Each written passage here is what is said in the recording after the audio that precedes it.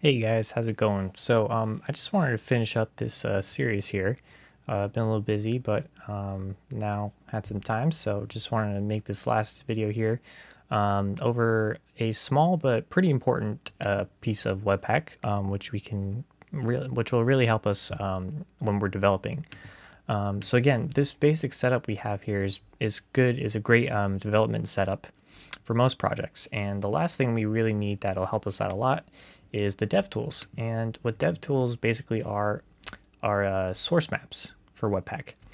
And um, the documentation is actually pretty good um, from Webpack on this stuff. So um, this is just going to be a short little video here, uh, just walk you through um, why it's uh, good to have source maps when you're developing. Um, and we'll just maybe talk about the little differences here. So, but I definitely encourage you to check these out on your own and try all the different settings out. Um, so why do we need source maps? Um, so basically, imagine I have this piece of code here, right? And, you know, in a, in a real application, there'd be a lot more code, but I'm console logging this um, variable called foo here, but I don't declare it, right? So obviously that's going to throw an error. So if I open up my console here, you'll see we get this foo is not defined, right? Which is expected. So normally when you get an error, right, and you're developing and you open up your console, uh, Chrome is really nice. It gives you the the line number of your code in which uh, right where the error occurred, right? So let's click on this. But first of all, you notice right away, right? We get this app.bundle.js blah blah blah file name and line 7548. Sounds a little fishy, especially considering my app.js file here is two lines long, right? So let's click this here. Okay, so it loads up here and you see, um, okay, I can kind of debug this, like this isn't that bad. Um, but again, imagine this is a much larger, more complex piece of code, right? It'd be a nightmare. First of all, I'm seeing the actual module itself, not just the code, but like the actual uh, code I wrote wrapped in a Webpack module, right? And then I'm seeing all this other Webpack like uh, garbage over here and this is just the bundle itself. So first of all, I'm on line 7000. It's crazy. I have all the other modules that I, I've written and then all this other stuff in here um, from uh, Webpack itself. So obviously this makes it much harder to debug. And then there's just the simple fact that, you know, the line numbers don't match up and this is my uh, transformed code, right? This is the bundle itself, which is post, uh, in our case, we're using Babel, right? So post Babel transpilation. So you notice that this arrow function here, right?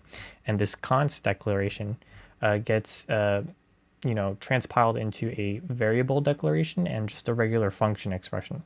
So let's use source maps to help uh, make uh, debugging a little bit easier, right? So it's really easy. All we have to do is in our config file, just make a property called DevTool, and you can set it to one of these options here, okay? So the first thing, which was, uh, first what we were using was uh, no DevTools, which basically is the eval mode here, right? And you can see these different options all have trade-offs, right? So um, obviously if Webpack doesn't have to do any work, in other words, it shows you literally the generated code right from your bundle, right? Obviously its build speed and rebuilding speed is going to be pretty fast, okay? Um, but you can see here, the, the more we get to our original code, the worse uh, our performance is as far as building bundles. And it just makes sense, right? Because every time you make a change, especially when you're building your first bundle, um, Webpack has to go through and make source maps for all of your code, right? So depending on, you know, the kind of project and your workflow, you may or may not want source maps. Um, if it's something, you know, you need done really fast, maybe you're working on CSS at, at a certain point on your project.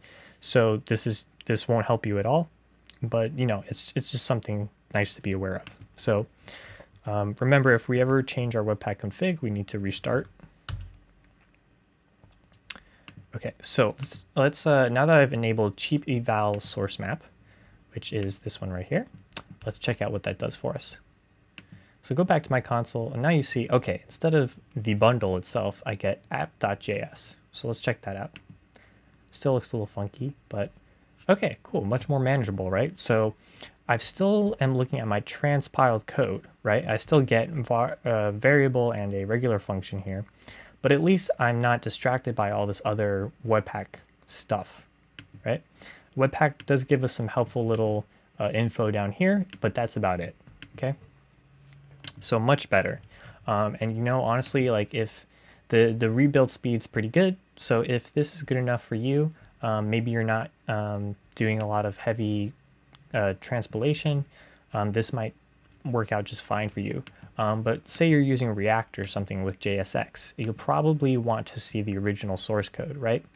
So what we can do is we can try something like, um, let's just go right down to uh, cheap module source map. Let's try that.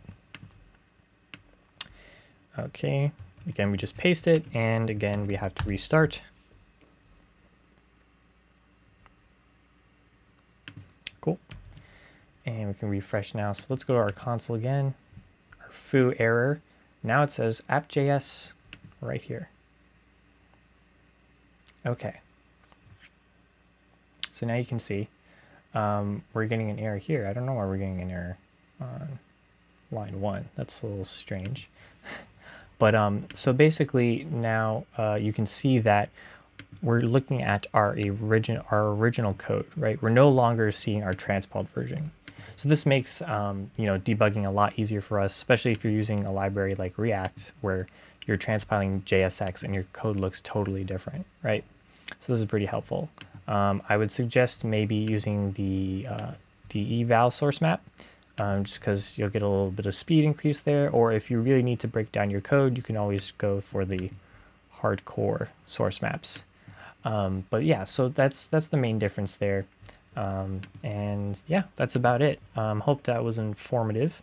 Um, again, I encourage you to try out all the modes um, on your on your own time, um, just to check them out. And this file is pretty much you know all you really need for a basic setup.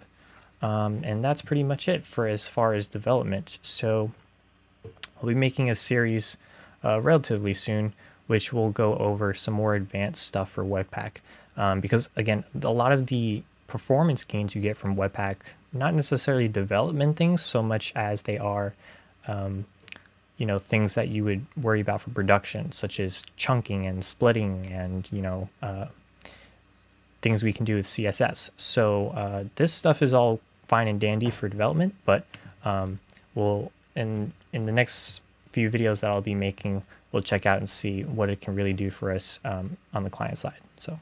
Thanks for watching, guys. Appreciate it.